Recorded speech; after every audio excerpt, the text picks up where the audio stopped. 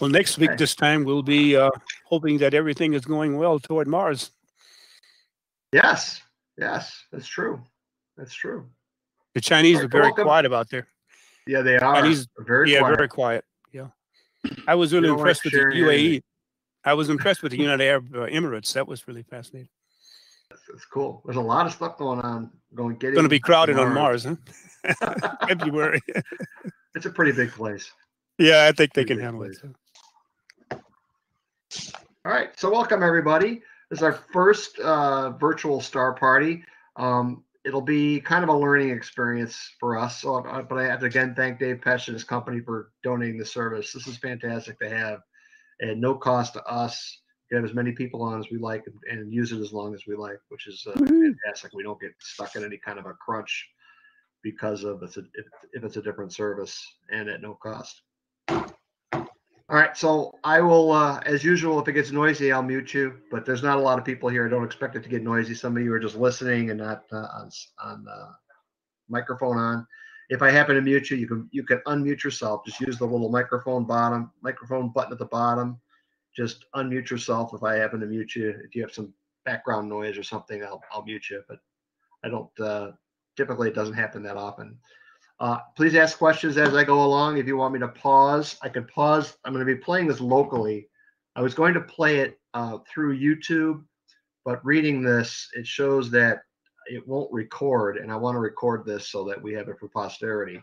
Uh, it won't record online video if I do it, but if I have it locally, it'll record it. So that's so that's what I did. I have set up to do. Um, uh, it's always better to use a headset. You can actually get better uh, you can hear things better. You can you can um, talk better if you have a headset. If not, don't worry, not a big deal. All right. So as I started to say earlier, this is a learning session that we did. Uh, uh here's some of the things we learned, and you'll see as I play this uh, how this uh, you know how good this was. One thing we I learned is, is how to improve my timing, and you'll notice timing from the beginning to the end is a lot better. And stopping and starting the video recordings. Uh, the microphone placement in the room, I actually had a nice microphone, uh, but it was closer to me than everybody else. And I, next time I do this, I'll put it kind of in between everybody, maybe crank up the gain on the microphone so we get a better recording of everybody. Uh, and a very important thing we need is we do need to get a USB 3 connection between where I'm recording this to and from because uh, you'll see some of the video in, in, spots it gets you get kind of a smudge in the video and that's just the the video was fine as I was as I was looking at it but when I when it got moved to where it was going as it was recording it uh it kind of lagged a bit so you have this this this smudged video so a faster connection would avoid that video corruption and delay uh, you'll see me as we take these short images. I take a histogram and uh, and I adjust it to try to get a nice picture. And uh, I, think I learned during this process how to do it on the fly a lot better than I did.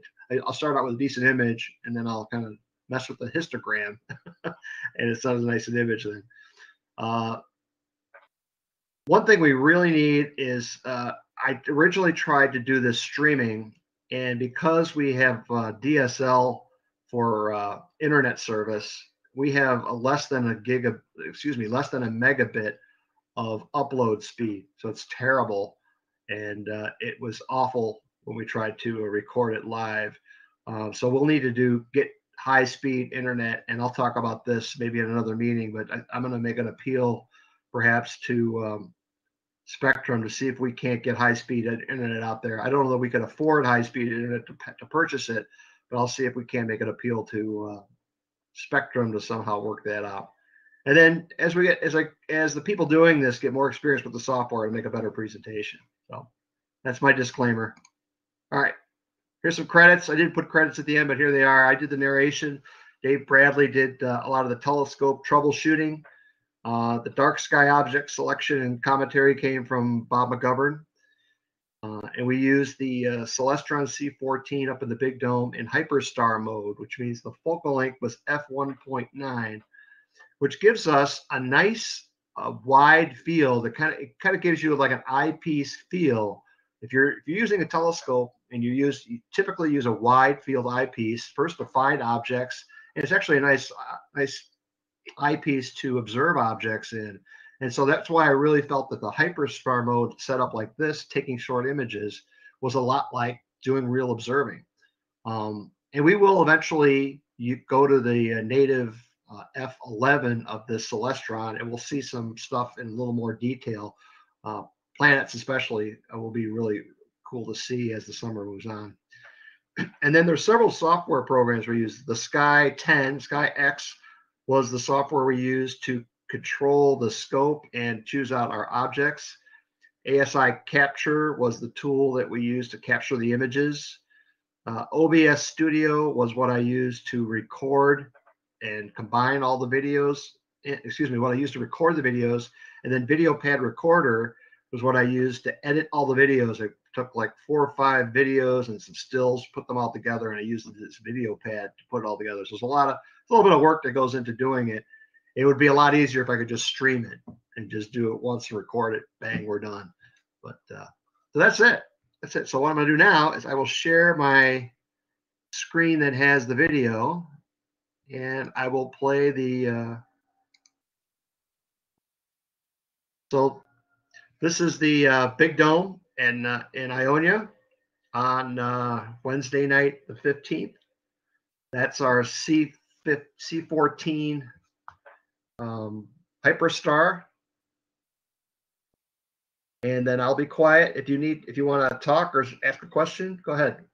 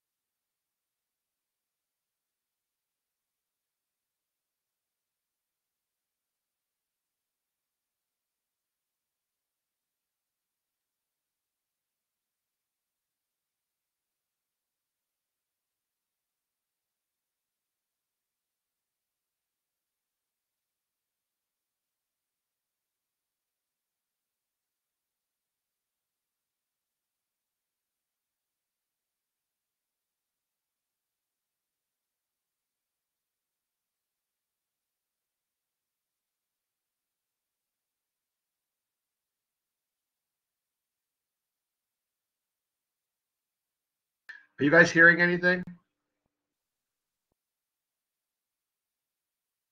I, I just paused everything. Are you guys hearing anything?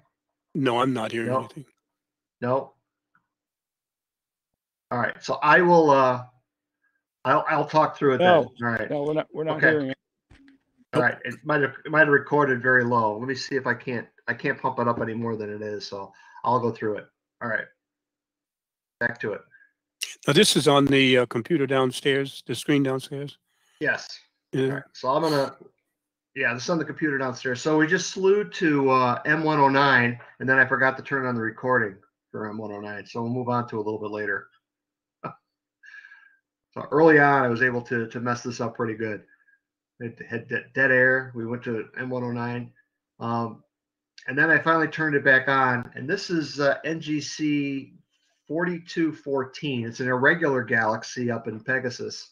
And uh, I did not, we did zoom in on it and zoom out, but I didn't record that. It was all, all part of that dead recording. Kind of an irregular galaxy in uh, in Pegasus. It's fairly close. It's about 10 million miles away. And it must have interacted with another galaxy at some point to for it to lose its shape uh, as a uh, as a you know traditional shape of look of a galaxy, but it is fairly close by. Uh, I said it was in Pegasus. It's actually in the Canes Venatici, is where it is, and it's part of that group, part of the uh, the Virgo supercluster, um, the M94 group, and that happens to be where we're going next. We're going to go. Actually, we're not going to go to. We're going to go to M64. This is the Black Eye Galaxy. Um, it's a pretty popular place to uh, to go. So that we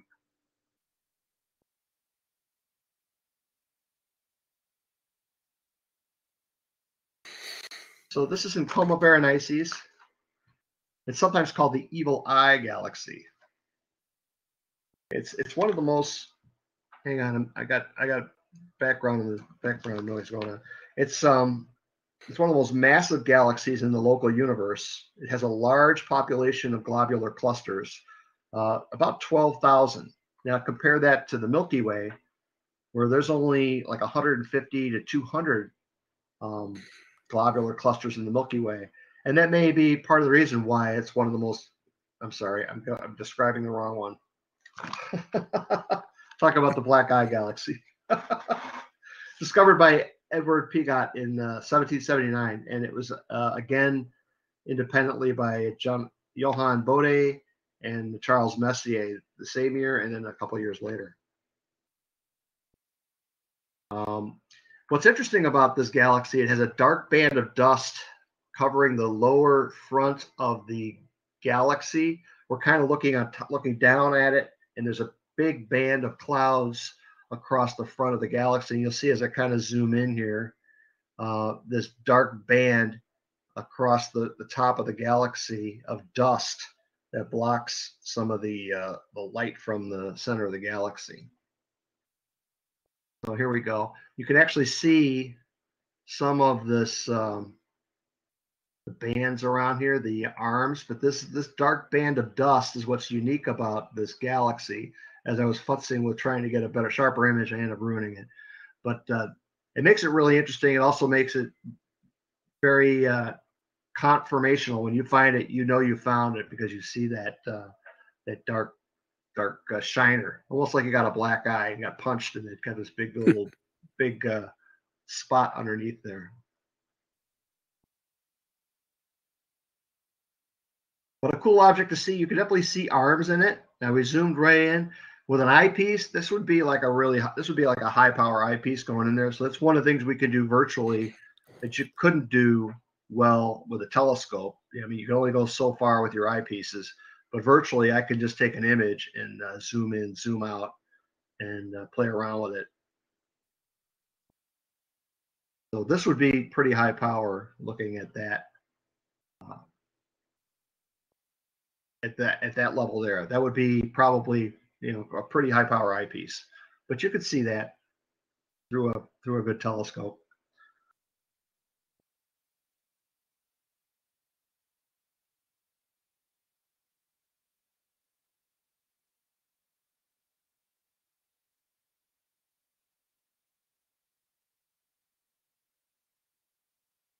All right, so we'll look for a couple things nearby. So we uh, we were looking for something in Virgo was too was see if Virgo was too far down. Here's Virgo, might be a little too far down, but we decided that we could go to M87. So that that circle shows us where M87 is. And so I used the, uh, the, the sky software to slew us down to M87.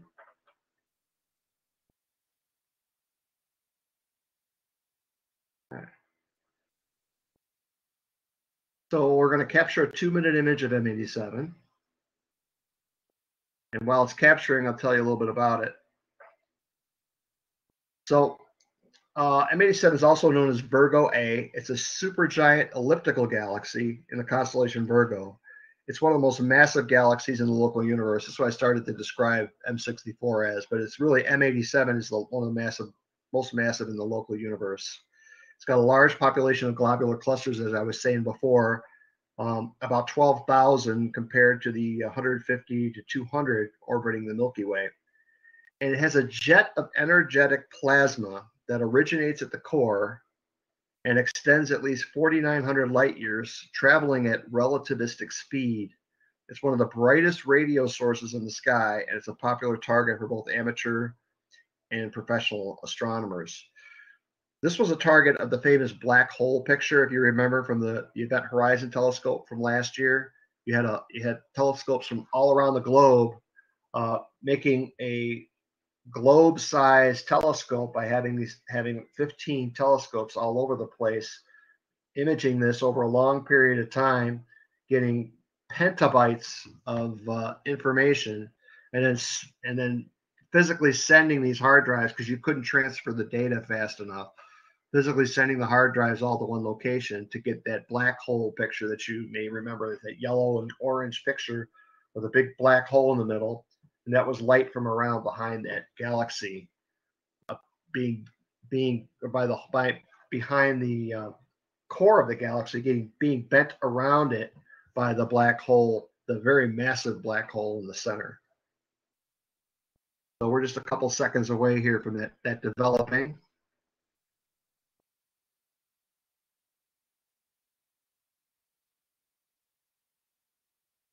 And here it is.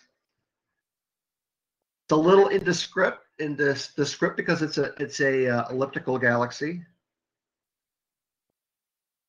but it is a huge, huge galaxy. Now, what you're missing because I have to talk, you're not getting the background vocals, is uh, Bob and uh, Dave talking in the background. So so this was a, a two minute exposure. I'm futzing around with it to try to see what we can show you of it, of it maybe a little bit better. If you notice, can you see this, this little thing here? Oh, if I stop messing around with it.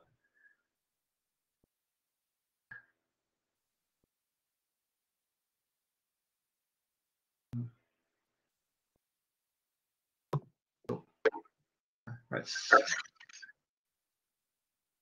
you see the jet here? This is that's the jet. It's very faint. Can you see there's like a little thing sticking out here? That jet is um, is 4,900 light years long, with matter traveling at relativistic speed. And when I say that, that means it's almost traveling at the speed of light. That is very very fast. And to be out there uh, traveling that quickly, it's pretty amazing.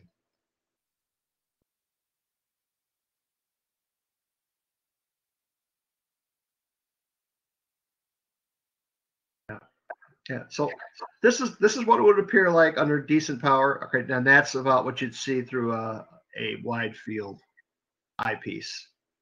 It's about like that. That's about high power. You see another galaxy, a couple other galaxies up here too. And you can see the screen how it kind of slips down like that. That's part of the uh, recording process we need to fix.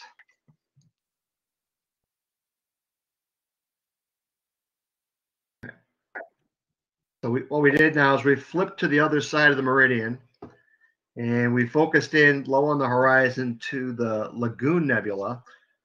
If you've seen this, this is one of two uh, huge visible, visible to the naked eye uh, star forming regions in the northern hemisphere. And this is a pretty good picture of the uh, Lagoon Nebula. Uh, this is capturing without any kind of filters and you could actually this is me futzing with the the histogram. Again that's one of the learnings we had from this episode was uh, futzing around with it.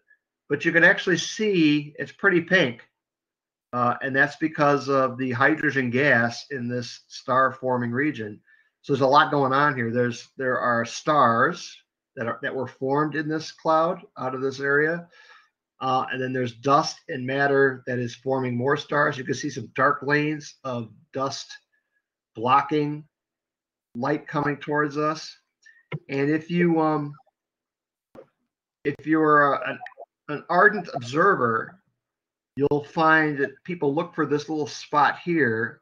It's it's called the well, if I get get the video back, okay.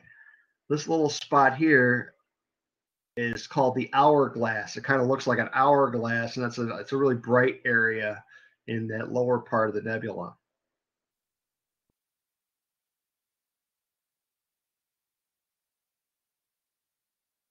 Well, there it is. I'm kind of zooming in. Yeah, so we didn't track real well, but well enough to make a wide field pretty good. But uh, you can see that the, the blur on the stars means, means we didn't track well.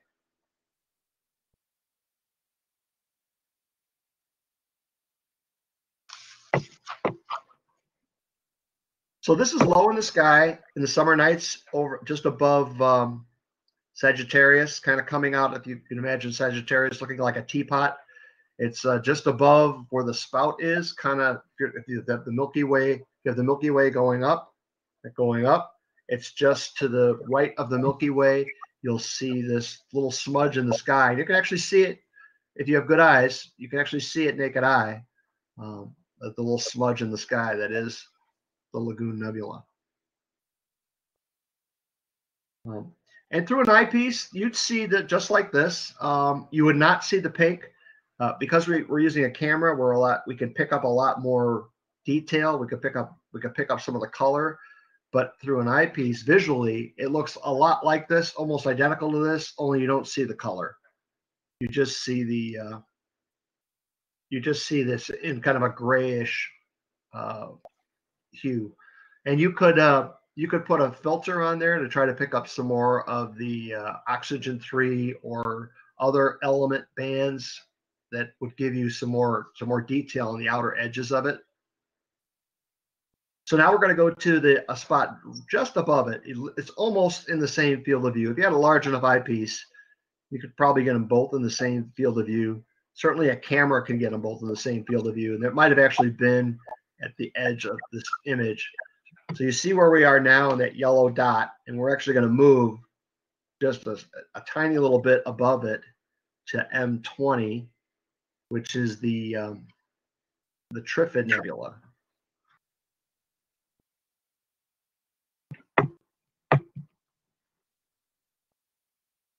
So here we are uh, confirming the slew, moving the scope over. And you can see that where the red is, is where the, the nebula is.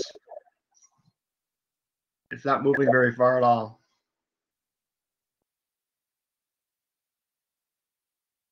Yeah. So, so we're going to take a two minute image. We'll pause this video for a moment and then we'll come back.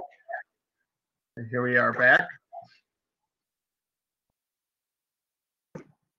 And so this is the uh, automatic picture, and I, I screwed around with it immediately. I should have just left it up there. But this is uh, the Trifid Nebula, and it's interesting. It's it's a couple different things going on here at the same time. Um, it's an emission nebula, a lot like the, uh, lagoon was, but it's also a reflection nebula. So you get a lot of different color here. Let's see if I can find my information on here. So it's um, it's an H2 region located in Sagittarius as well. As I said, it's just above uh, M8 or the lagoon. It was discovered by Charles Messier on June 5th, 1764. And, you know, Trifid means divided into three lobes. And you can actually see that there's these lines here kind of divide this into one, two, three sections. Hence the name Trifid. And we could if we'll we'll zoom in in a little bit and you can actually see a little more detail in here. And this is kind of reddish pinkish uh, as we image it. And the stars inside are forming in here and they're also pushing away gas and dust to make these little little dark areas where it's cleaned out around them. And then there we go. So I've, I've blown it up. So you actually see reflections off of the edges of, of gas and dust inside there. It's kind of cool to, to look at the detail. This is a double star that's in here, so it's not it's not bad tracking. We actually got pretty good tracking on this, but uh, and you can't zoom in like this with an eyepiece. This is something you have you do electronically. You'd have to get a really good eyepiece to kind of zoom in like that. I don't think I've seen it that high, but that's about what you'd see through a, uh, a wide field eyepiece. Over here, it looks it looks bluish. Now, not necessarily through an eyepiece. This is all gray if you're looking through an eyepiece. But over here it's bluish, and that's because it's a reflection nebula, and that's from these stars back here re reflecting light off of that nebula, and you, hence it looks blue to us. It's not an emission nebula where it's it's hydrogen uh, that is ionized and then releasing releasing that uh, light in the uh, red spectrum. It's just reflecting off of the dust there, making it blue, because that's the light of the star. The star is like a bluish star hence for the reflection. So we're going to move a little further up. It's a very rich area of the sky there down in Sagittarius and, you, and moving up the Milky Way, there's a lot of nebula to see. So we're going to image now um, uh, Messier 17 or the uh, Swan Nebula. Now, while we were recording this, we've we came up with a new name for this nebula. If you're looking at this, you can see that if this is the level of the water here, that's the body of the swan, and here's the neck. You see the neck? All right, I'm going to ruin this for everybody forever. We've decided that this is the nose nebula. If you look at it, this is a nostril here. Here's the hole in the nostril. Here's another nostril over there, and here's the bridge of the nose. There's a nose looking out at you in space. So forever now, it'll be the, the nose nebula. How many people yeah, have I ruined for? You can see the eye there too.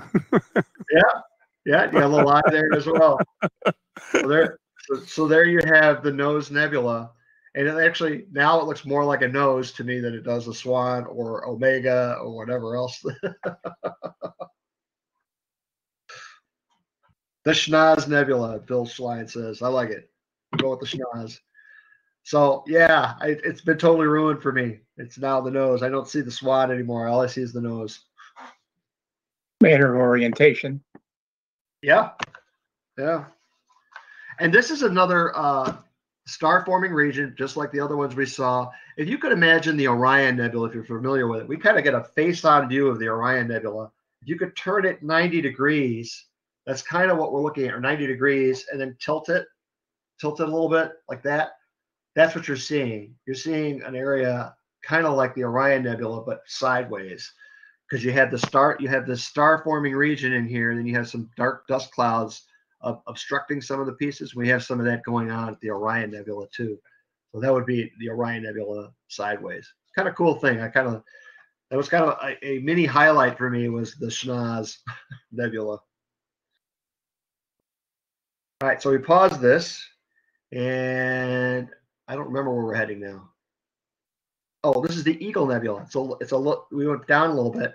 So if you're familiar with the um, one of the first big you know publicized images from the Hubble was the towers of creation, and this is them in the Eagle Nebula, kind of tilted about 160 degree or 200 120 degrees. There's the three towers, one, two, three towers of the towers of creation, and it kind of established the Hubble palette too, where you had uh, sulfur hydrogen and oxygen as the uh, elements, the ionized ionization of those elements uh, that give you the uh, the palette. That's just all you're seeing there. Really is the uh, was the hydrogen. So my uh, cut in this segment wasn't good, so I I gave you a little disclaimer here. We went a little higher in the sky.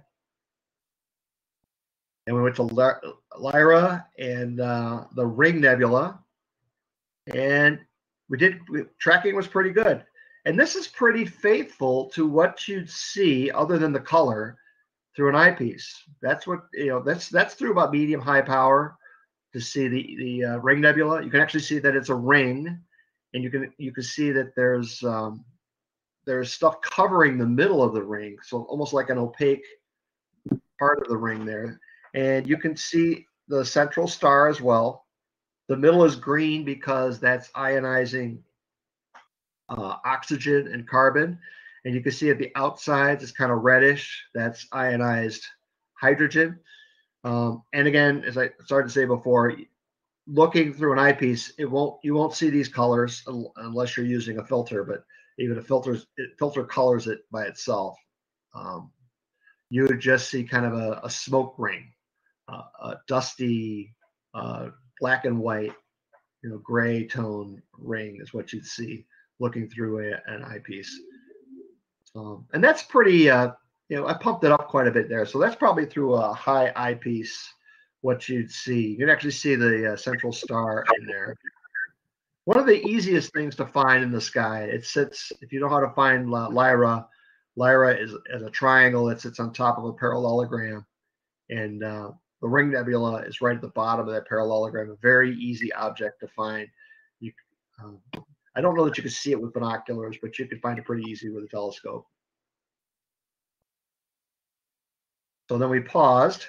And for those of you who have joined us a little bit late, I am uh, I'm uh, doing this uh, extemporaneously with um, giving you the the description because the description on the video was too low for people to hear. So I'm, I'm redoing the video, I'm redoing the uh, um, audio, if you will. So it looks like we're going to a place called NGC. Oh, I think we're going to by by Bob um, Bob McGovern's request.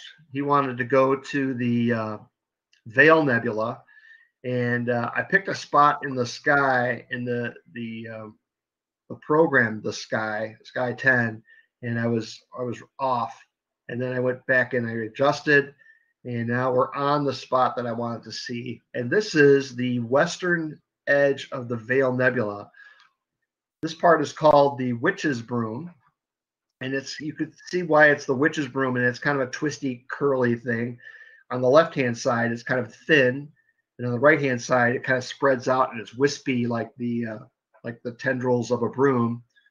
That star that's in the middle is pretty easy to see. That's a naked eye star.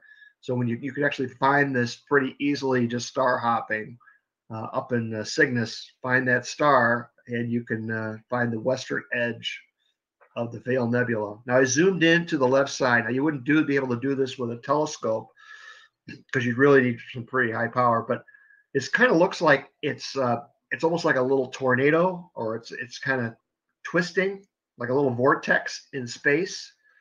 This is the leading edge of a supernova remnant.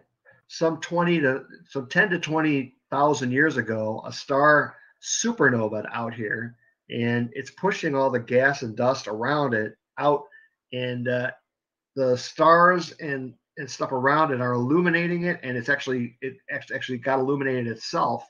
And this is the western edge of this thing.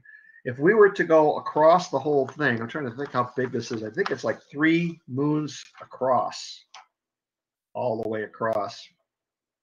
The source star for this actually was pretty massive. It was about 20 times the size of our sun. And uh, the remnants have since covered an area, like I said, three degrees in diameter. So it's six times the uh, area of the full moon. So now we're going to move, as you can see, we were we're over here. We're going to move to the western edge, and that's where the uh, the software wanted to take us. And I moved it a little more center because I wanted to look at, I wanted to see this part of the nebula. So we slewed down. Excuse me. And uh, we took a two minute image. I see I was getting better with our timing on here. So I paused it and we'll come back to the to the actual uh, image. Four seconds left. And we get the eastern side of the Veil Nebula. This is a little larger than the other side. It's actually it actually continues a lot a little further off to the to the right of this image. And it appears almost river-like. And then over here, it almost looks like a waterfall coming down over here. And I try, and I know that I try to play with this a little bit to pump it up uh, so bear with that going on. Through uh, through an eyepiece, this is really pretty stunning to see uh, the Veil Nebula. So I kind of futz around with the histogram, trying to mess around with that to get a, a better image of it.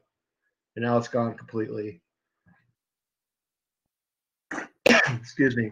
So this these are the struggles you have with uh, video astronomy is is getting your you're futzing around all the equipment. You got several different software programs running at the same time. You're recording as you're going, pausing, stopping. It's uh it's it's it's different than just being in an eyepiece. I'll say that much. But eventually, we're going to get back to the image here. And uh, if you could imagine, this is like a, a gas ball in space that just expanded. A, a star exploded. It's, it's just that that concussion is still flowing through space, pushing everything out there, and it's got enough uh, stuff in it to uh, to really uh, to, to really uh, show this stuff. So this is this is like the waterfall part, or fangs, as I sometimes say, of the uh, eastern edge. It's almost like it's wrapping around.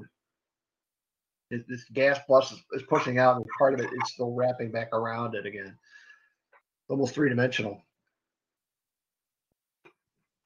so Jeff wanted me to describe the histogram. So the histogram down on the right,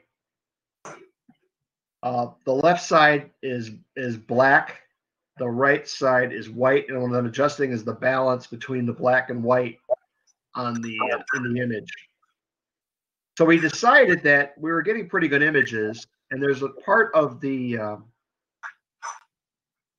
of the Veil Nebula that you typically don't look at that often, and that's called Pickering's Triangle. So here's a here's a triangle right here, Pickering's Triangle. So we uh, slew over to it, and we'll take a, a two minute image of it, and it's about to come up now.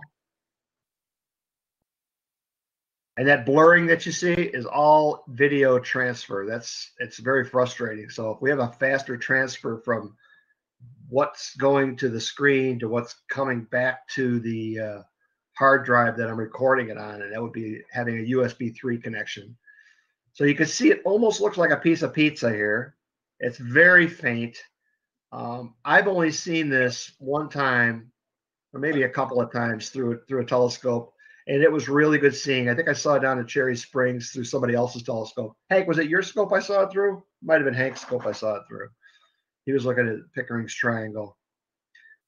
And uh, Hank has a big scope. I think that's why we saw it. This is only a 14 inch telescope, even though we are, you know, we do have a camera attached to it. We are, are limited somewhat with aperture. So we thought that we had a decent enough image that we were going to try to take a three minute image of it. So this was a two minute image. We thought maybe a three minute image would give us a little more detail in there. And we might have gotten, and I wasn't paying attention if that was already done or not, but we got a little more blue stuff up there, but we didn't get much uh, much else. Maybe this is the three minute image.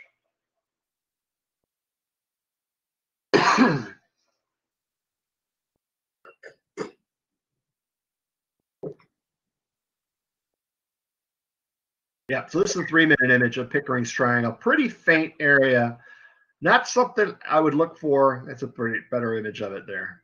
You can see I got a little better at this. There's, there's a, a, zoom in on the histogram, so I got figured out how to use that, and I got a little better at using the histogram.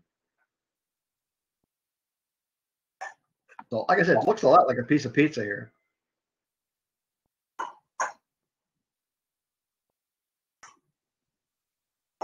All right, I don't remember where we head to next, so I'll see where we're going. We'll describe it.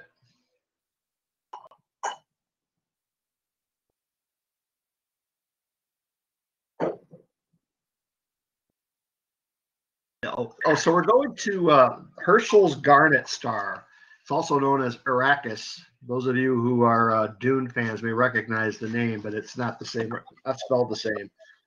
Um, this is, I will tell you, this is much better through an eyepiece than it is through uh, an image here. This is something you really need to see through an eyepiece. It's a very red star. You may see, you may catch some of the redness on this here. It's uh, it's pretty red, but in an eyepiece, it is dazzling red. It's it's striking how red it is if you see it through an eyepiece. Uh, this is a red giant. It's one of the most massive stars in our local universe. Let me get my little notes on here.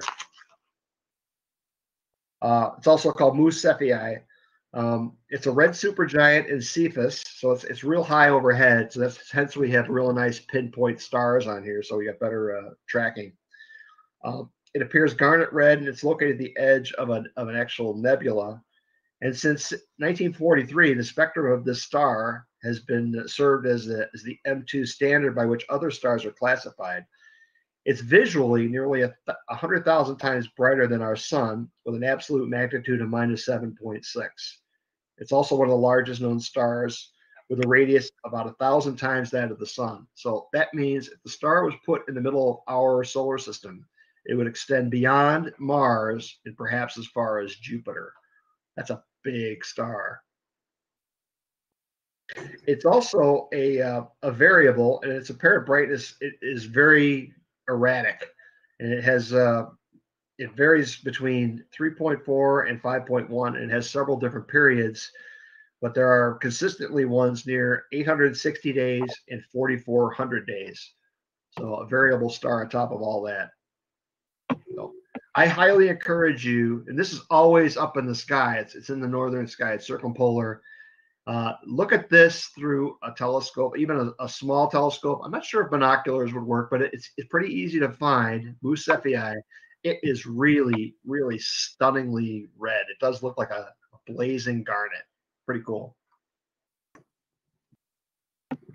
Nebulosity. Sorry, I just saw that.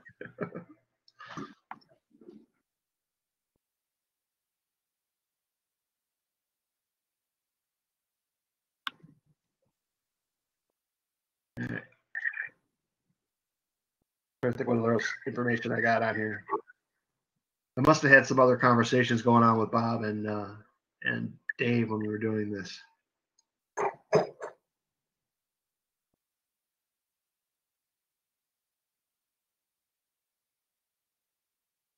So I I like to look at this star because um, there's a lot of blue things that we'll start to look at. We'll look at some planetary nebula, blue and green, and you see the contrast to uh, a red star.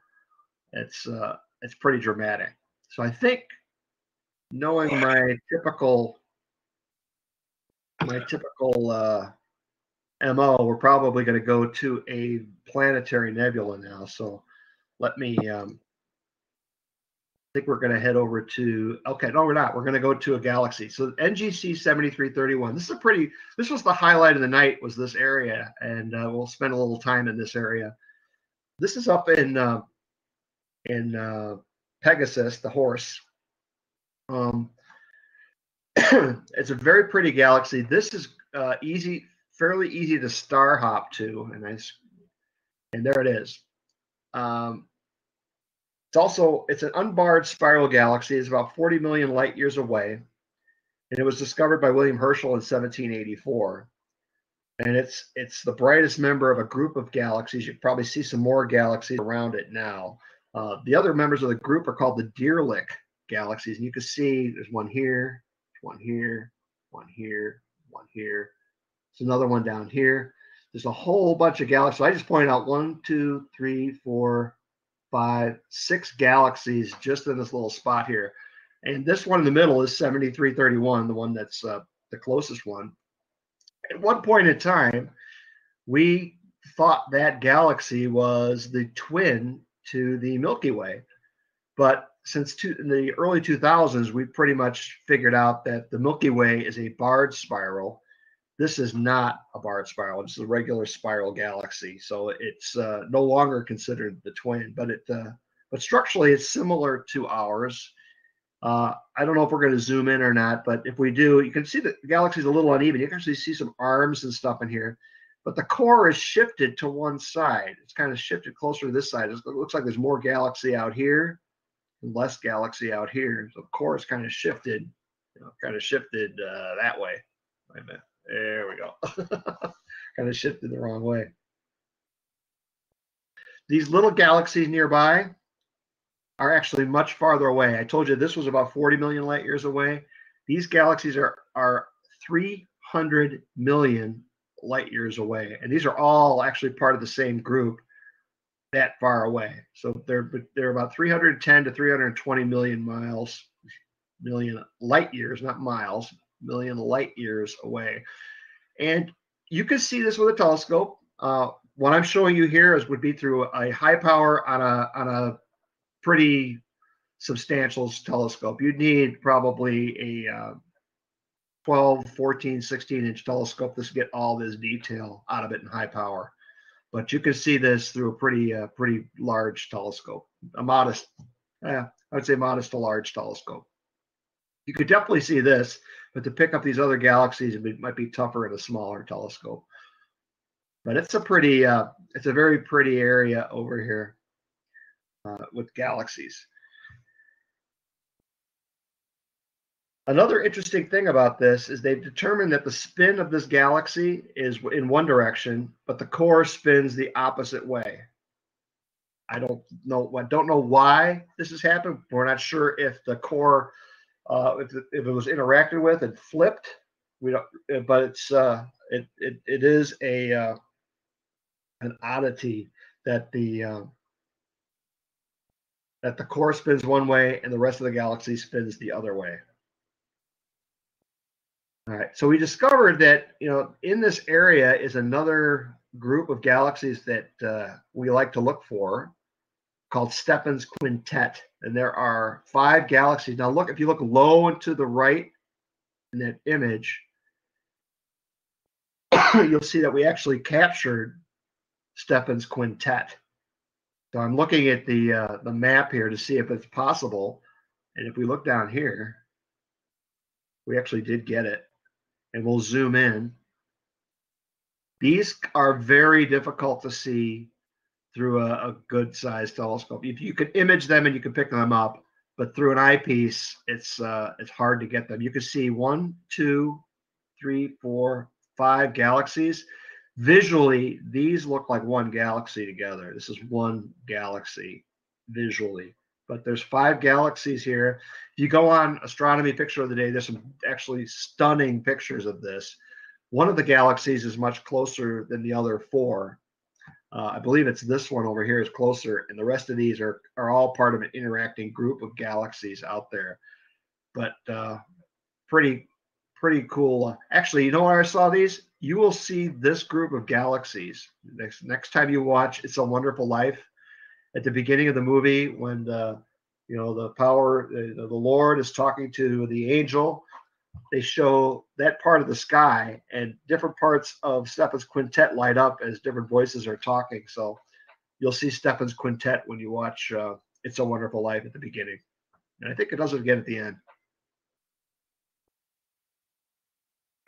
So we just looked at at least 11 galaxies all in one image. And uh, in a telescope, it'd, pre- it'd be pretty easy to to just move your scope around in that area and try to pick it up. And having a software program like this is handy to have because you can actually identify what they are, look them up, see how far away they are. It's a cool thing to do if you're uh, if you're observing to have that that program to get more information about what you're looking at. Uh, this is a really interesting part of the sky with all the galaxies up here in uh, Pegasus. So thoroughly enjoyed finding 7331 and the galaxies around it, the Deer Lick group and Stephan's quintet. So we paused and trying to see if we paused. Where are we going? Don't remember where we went after that. We, we might have gone to a uh, a uh, globular cluster. Let's see where we went. Oh, we went to the blue snowball, and we had trouble with this. So we took a two-minute image, and it was it was like blurred. It was like in one spot, and then it shifted to another spot, and there was a blur between it. We did it again. We got a spot, and went to another spot, and it blurred. So then we tried a 60-second shot. So I'm saving you that five minutes that it, of, of your life and uh, we'll go right to the 60 second shot that we got of the blue snowball nebula. And this is a planetary nebula up in pegasus. So you can see the kind of blurred the second blurred shot we got. And the 60 second shot will come up shortly. And there it is. And this is in stark contrast to the red star Erakis. This is the blue snowball um, this is a planetary nebula, so much like our sun will do in in four to five billion years when it uh, starts to die, a star has uh, shed off a lot of layers of its of itself and then collapsed into a white dwarf. And when the white dwarf lets out ultraviolet rays, it ionizes the oxygen and carbon. And as it ionizes it, and the electrons go back down into their normal shells, it releases light in the blue green range. And that's what you see when you're looking at this. So this what you see this field of view that you see here would be a wide field view. This is it right here. I think that's it right here. I'm sorry right right here. And um, it would be much bluer than you're seeing on your screen right now. It, it definitely is blue. So you do lose what you do see in color you lose through this program, but what you don't see in color, you actually gain. It's kind of it's kind of odd how that works. But that's the blue snowball. It's just a big ball, and uh, it's it's very cool to see uh, through a telescope. So that would be about medium high power looking at that like that.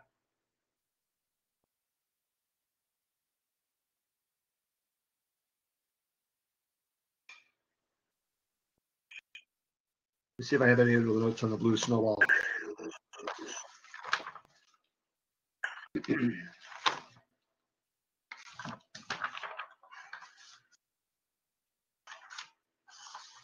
no, that was one of my uh,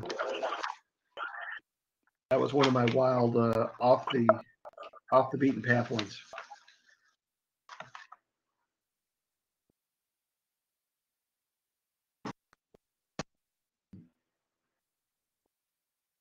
So we were tracking pretty good there, pretty high in the sky. And I noticed that we track better when we're high in the sky than when we're low in the sky. So that's uh, that's another thing we need to, to, to deal with is uh, the tracking.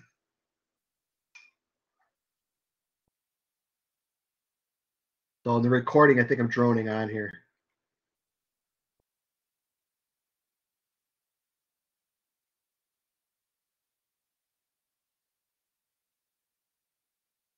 So I think we're going to go towards Andromeda. This is actually, I, I said it's in Pegasus, but it's actually that, that's kind of in, in Andromeda.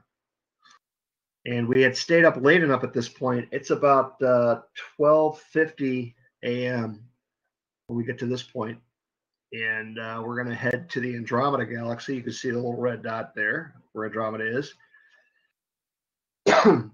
when we get to Andromeda, there are actually three galaxies there. We don't need to take a very long image when we do that because it's pretty bright. It's the, our closest uh, galaxy outside of the Magellanic Clouds. So uh, what we'll do is we'll image Andromeda. It's about two, a little under 2.4 million light years away. And you know everything I talked about has been in the tens or hundreds of light years away. Um, yeah, Jeff, we've had it's it's a it's an ongoing question. Jeff's asking if the tracking issue is related to telescope position and balance, and we've balanced it. Uh, we've we, we problem is we take some stuff off, we put some stuff on. We'll move the weights. Uh, you can actually balance it moving the weights a little. There's a couple of weights on. You can spread them out a little bit. You can push them together. So there's a little bit of a balance issue probably. And then we re we re uh, wired it, so that could have been an issue as well. Putting uh, uh, where the wires went. And uh, one of the issues, one of the things we're going to do is uh, when we move the uh, Hyperstar off of it and go into a planetary mode, we'll uh, run the wires through the center of the uh, scope. It's something we can do now that we can with the new uh, system we have set up. That'll help the balancing quite a bit. So here we are. This is a an image of Andromeda, and you can actually th see three galaxies here. So where that cursor is, you can see I got two cursors moving here. So um, you can see one to the lower left, one big one in the middle, and then one over to the right. This one right here. This is M31. This is M32, and the one that was lower down was M110. I zoomed in so we could look at the um, the uh, dark lanes. You can actually see dark lanes like this here and here through an eyepiece. And this is pretty true to what you'd see through an eyepiece. This, is, this would be a very wide field. You might actually only see, yeah, you probably see it uh, like this. A wide field eyepiece. Really, you shouldn't look at Andromeda anything smaller than a wide eyepiece eyepiece because it's it's um it's so big. It's just huge in an eyepiece. Another object that you could see uh, naked eye, you could actually find naked eye in the sky. Um, this telescope will take a beautiful image of Andromeda. If you were at the um, the uh, Strasenburgh Planetarium for our uh, holiday party, I I had the the the uh, Hyperstar on Andromeda. I took uh, 12, I think it was 12 images, and then some dark images, calibrated all that stuff. Uh, so this would have been like one of those images, stacked them all up, and got an absolutely stunning image of Andromeda uh, with this telescope. but today, our you know, I'm just trying to show you what you'd see, you know, as a virtual star party, looking looking through an eyepiece, going from object to object in the sky. So we're just taking short images. But uh, that's pretty cool when you see a, a galaxy that's that close. Now, I don't know how much you're seeing in here, but um,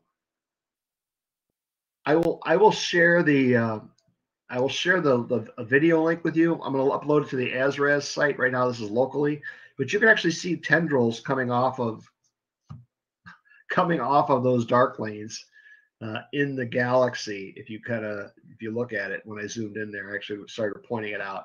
And it's hard to see here because I'm I'm, I'm I have a video that I'm sharing, and it, it you if you saw the video raw, you you'll actually see it a lot better. So we moved on to uh, M15. This is our first globular cluster for, for the evening. We hadn't looked at any so far, so we found one nice and high up.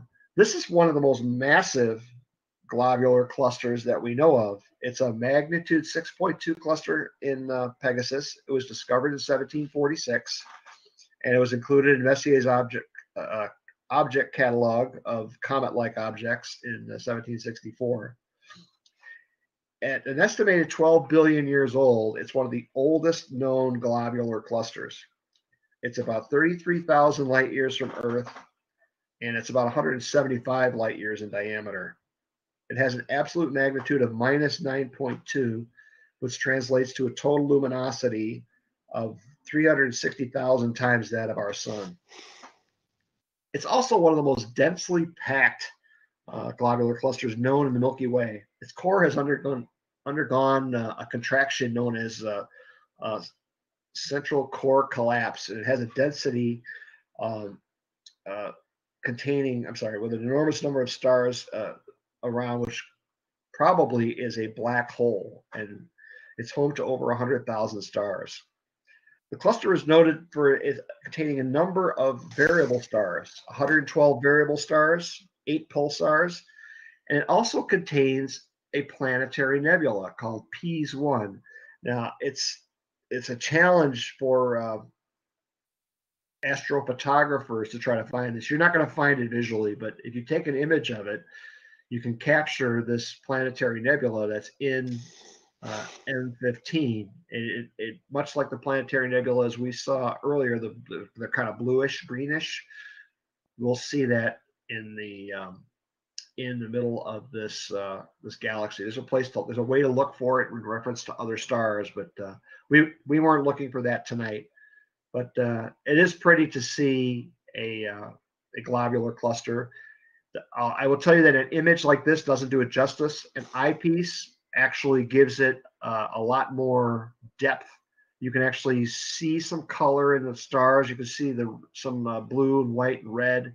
Um, you can see that the stars on the, uh, you know, that are more distinct are closer to you. And the core is, is like in the middle of a bunch of stars. It does, you do get a 3D effect looking through an eyepiece versus looking at this image as I presented, excuse me, as I presented it to you. That's what you'd see at this this level through a wide field eyepiece. Actually, uh, that's, that's that's medium high power. I think I'm going to zoom all the way out in a minute, and we'll uh, see what it's like in uh, wide field.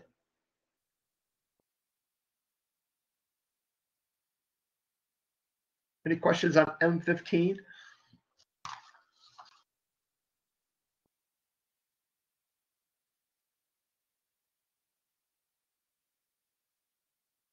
See where we go next. I'll listen to my recording here. Bob McGovern's telling a story.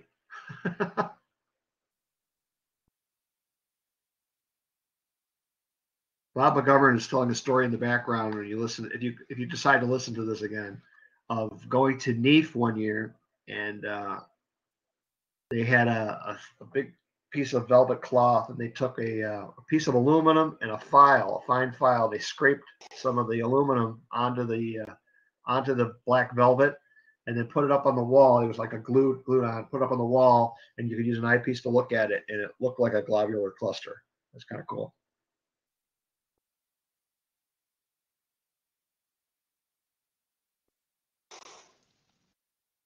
So just a few minutes left. Um, we're gonna head. Uh, where are we headed? M15. Oh, we decide we're gonna go look at the two planets that are up. So we're gonna go look at Jupiter and Saturn and call it a night. Now, this telescope in this mode really is not made to look at planets. Planets are better, or in uh, in the C14 in its native mode f11 because it's a long focal length and you can get a lot more detail out of the uh, out of the camera by using that. So I started to take an image of Jupiter here, and we took a very quick image because Jupiter is very very bright. It's like a thousandth of a second, and uh, you'll see Jupiter and its four Galilean moons, but it's really blown out. So you, Jupiter is all glowing almost like the sun. So there's the one, two, three, four Galilean moons.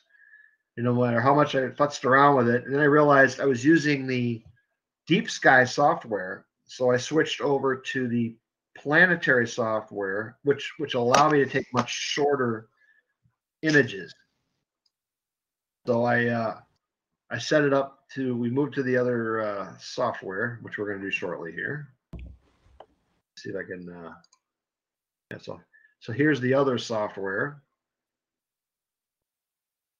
set up to take shorter images. So we take a couple images of Jupiter. And what I was trying to do is get it so we can at least see the bands on the surface of Jupiter, which are pretty easy to see through most optical devices. Even a pair of binoculars, you can see bands on Jupiter. And so we're futzing around with the uh, image amount of time we take in the image. So here we go. That's what we got. That was the best we got, and it's terrible compared to what we can do in its uh, in its F11 mode. And so that's what we'll do. Uh, whether it's the next star party or not, we'll uh, we'll try to do this. Get Jupiter in uh, capture Jupiter through the in the F11 mode. You can actually see detail by imaging Jupiter. You can actually see detail of swirls on the surface you could see a lot more bands. You could pretty much what you're seeing is you got you got two bands, band between, and maybe you can catch another band over here or something, but you don't see a whole lot of other detail. But if we take it, if we image it in the um, in the native mode for the C14, we'll get a lot more detail. But that's what you'd see. That, just like that would be through a regular, you know, regular wide field eyepiece but you'd see the moons. And so we decided to go one more one more place. Let me see if I can find it. We decided to go to Saturn. Well, Saturn's pretty blown out here, so we're gonna we're gonna take a uh, change the images on the fly. So I'm able to use this little slider here to, to change the exposure. And I'm taking an exposure. I have it constantly taking images, so it's going and the fact that they're, they're millisecond images makes it real easy to do this. If they're two minutes, like we were doing earlier, uh, you can't get them back that fast. But because they're like millisecond images, it updates pretty quickly. So that's what you see with Saturn. You can see the rings. You can see the space between the planet and the rings. But that's about it. You don't see any detail. You can't split the rings. You know, you can't see the uh, the uh, Cassini ring in the in the middle there. You can't see. Typically, you can see at least one band on the the uh, cloud deck of Saturn, uh, but you don't see that here. And again, that's this is an object we'll come back to when we're in the native uh, uh F11 setup for the C14 using uh, using this camera.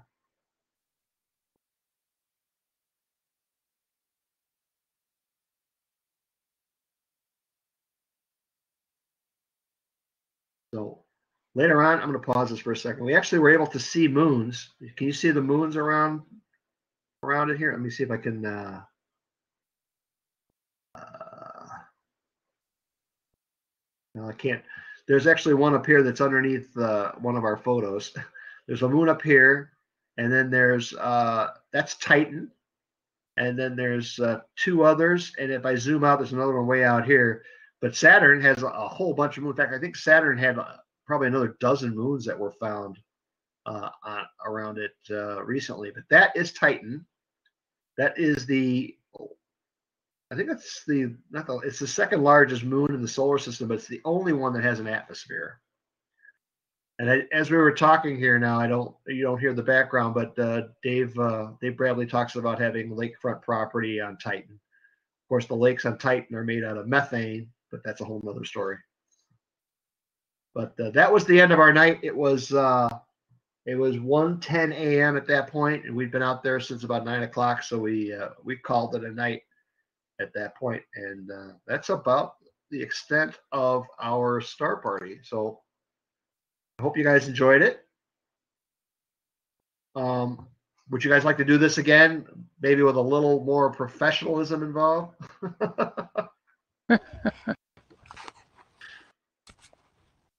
It was fine. That's it. It was great. Yeah, very good. That's good. Well, next time I'll try to get the audio because I was I knew the audio was low, but I didn't realize you wouldn't hear it at all. So I'm glad I had my notes in front of me so I could uh, I could describe the stuff.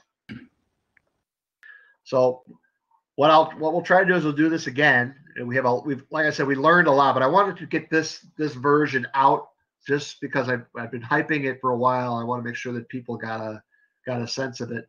Um, and we'll uh, we might we might even do uh, themes uh, on uh, when we do this a couple more times. We'll look at planetary nebula one night. We'll look at planets and solar system stuff the other night. So, all right, comments? Anything? Anybody? Anybody?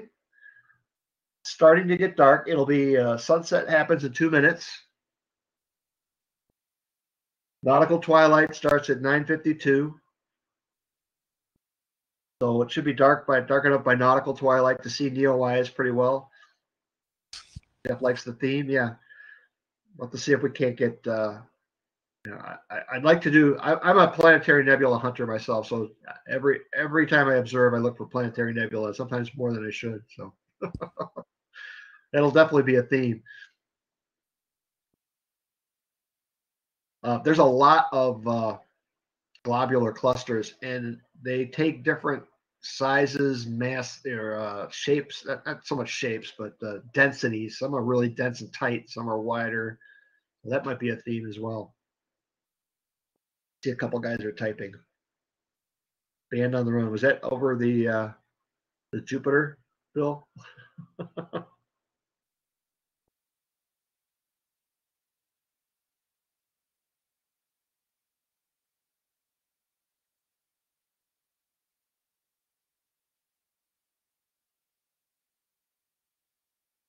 All right, feel free to unmute yourself. I muted a couple people because I was hitting, hearing some background noises. So feel free to unmute yourself if you want to talk.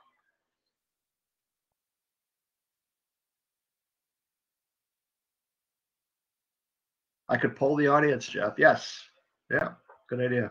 We could do a uh, we could do an astro quiz. Not a bad idea. I'm gonna make a couple notes.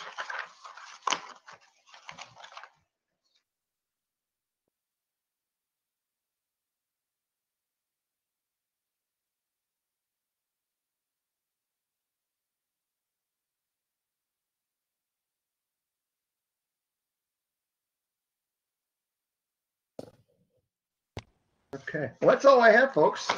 Who's going to go out and look at the comet tonight? I'll put a poll up.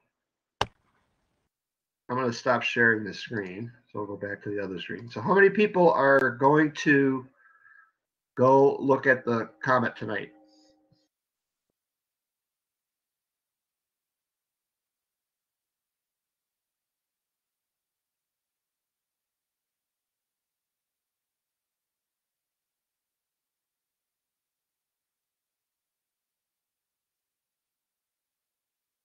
How many, how many people are going to go to bed after this? No. okay.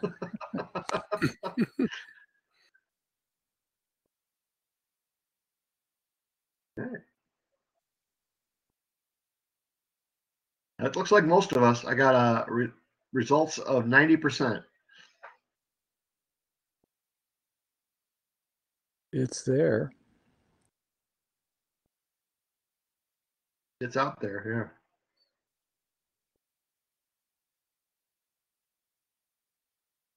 All right. All right, well, that's all I have, folks. Unless you guys want to talk about something.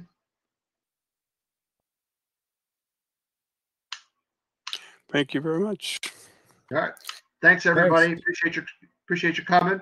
Uh, we'll do this again. I'll give you a little more notice next time. I know I go. I gave you notice yesterday, and I'm a, I appreciate everybody coming who came. Uh, I, I hope to have a lot more notice next time we do this. I learned a lot doing the first uh, version of this, and it'll be a lot easier next time around. So, uh, and, and actually get a little better about vol, little volume.